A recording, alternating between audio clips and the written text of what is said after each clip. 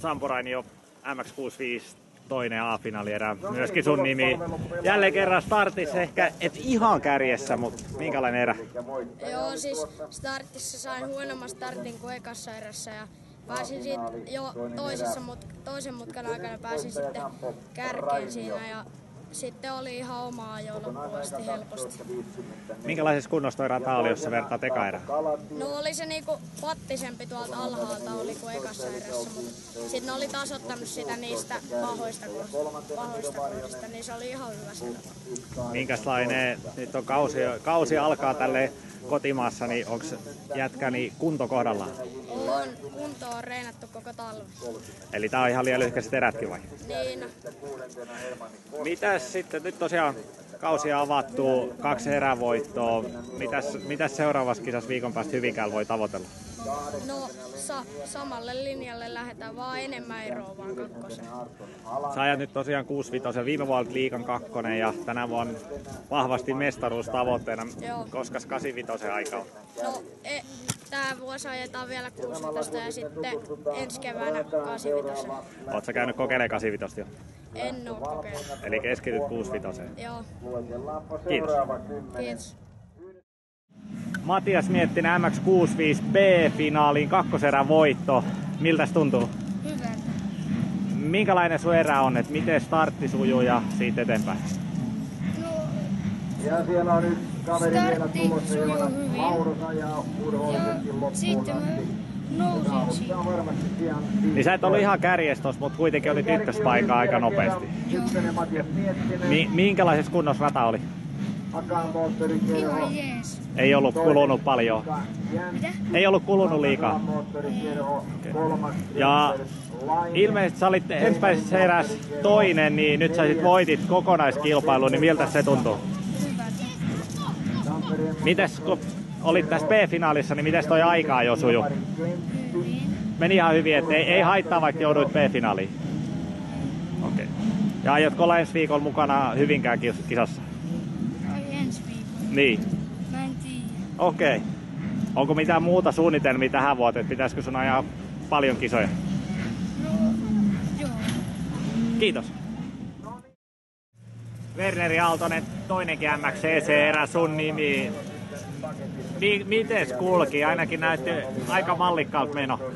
No hyvä, kun mä sain tosta, pääsin startista kärkeen ja sitten taas sitä omaa ajaa ja niin.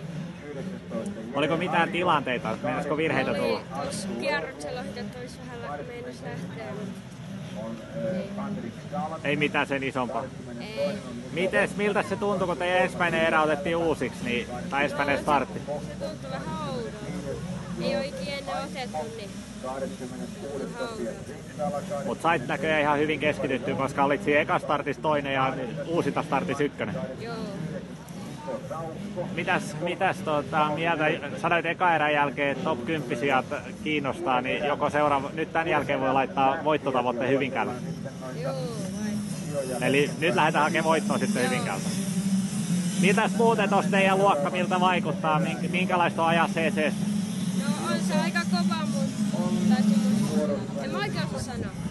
Mutta ainakin kiva on. Joo. Kiitos. Sami Savolainen MXCCn toisenkin B-finaali erän voitto. Mites nyt kulki? No, ihan hyvin. Mink, minkälainen, millainen startti oli? No, pääsi ihan hyvin liikkeelle ja... Niin. Kuinka monen tässä olit tuossa ekas mutkassa? Öö, olisiko joku viidentenä? Eli joutui jonkun verran ohittelemaan tuossa eräaikaa. Kuin nopeasti pääsit kärkeen? Aika nopeasti. Miten siinä sitten, oliko se e- ykkösenä helppo ajaa? No, oo, no ei. No mikä siinä oli haastavaa? Oliko paineita? Oli. Vai oliko se rata jo kulunut? No, oli ratakin vähän. No mut mi- miltä se on oma ajo tuntu kokonaisuutena? No, ihan hyvältä. Ei mitään ongelmia, ei mitään virheitä. Ei. Kiitos. Kasper Kangasniemi, MXCP ja MXCA yhdistelmästartissa. Todennäköisesti voitit CP. Miltäs, miltäs tommonen erä tuntui? Hyvältä tuntui ja oli kova vastustuva, kun oli CA-kuljettaja. Haittaako se mitään, että siellä on CA ja CP yhdessä? No ei se sillä ei se sillä haittaa, kun tulee vaan pahempi vastus, niin yrittää enemmän. Oliko sulla kuin tarkasti tiedossa, mikä sun sijoitus on? No kyllä mä sen sillä huomasin, että mä olin ykkösenä. Ajoit viime vuonna vaan muutama CC-kisa, mutta miten se on mahdollista, että nyt lähti näin hyvin CP-kausi käyntiin? No reenattiin paljon talvella ja hiihdettiin paljon. Okei. Eli sieltä löytyy, kun treeniä tekee, ettei haittaa, vaikka yksi kisakausi jää vähän väliin. Ei, se nyt haittaa. Kiitos. Emil Beckman, CPCA, toka erä, voitto myöskin sulle. No mites tällä kertaa erä kulki?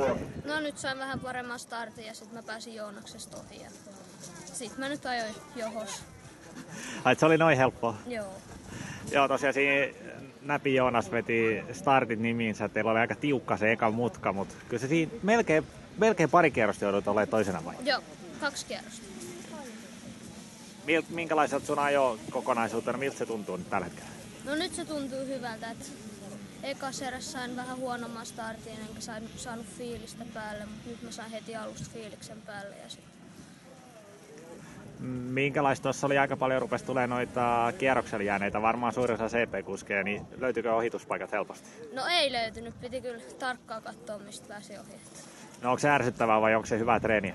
No on sekin hyvä treeni, että pääsee vähän harjoitella, että mistä pääsee ohi ja katsoo. Öö, miten sun kausi jatkuu, mikä on seuraava kisa? Seuraava kisa on Hyvinkää tai Englanti. Eli Hyvinkäällä jatkuisi tämä MX-liigan yhteydessä ajettava CA-kisa tai sitten Englannissa EMX 150-luokan EM-sarjaa. Miten siellä vaihdetaan se kakkospaikka ykkössiä? Vaihdetaan vaan. Et se tulee vaan tosta. Pysytään pystyssä se toinen kerran. Joo. Kiitos.